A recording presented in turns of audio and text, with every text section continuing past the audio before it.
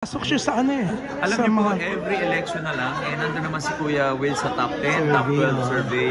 But uh, it's up to him kung uh, sa tingin niya, it's the time na pumasok na sa politika at uh, magsilbi na sa ating bayan.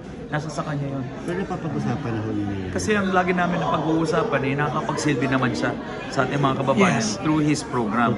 Doon nga kami nag-umpisa eh. So, sa Wawawin Tutuktuin, tumutulong kami kahit wala kami dati sa sa posisyon. So, yun. Baka ituloy-tuloy niya kasi magsisimula na yung show niya Yes. this coming March. So, abangan ninyo. Yeah. Just in case. Pero uh, kung, uh, yan, speaking of Willie, birthday niya sa Friday, Yes, yes, yes. anong plano nyo?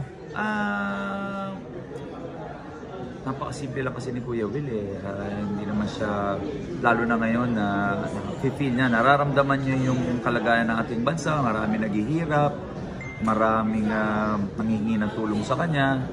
So, kung isi-celebrate lang daw niya, eh, tutulong na lang daw niya sa mga kababayan natin. So, wala tayong, ah, wala pa siyang uh, pinaplanong selebrasyon. Ah, kung meron man siguro, kakain lang kami ng simple sa bahay niya, dinner.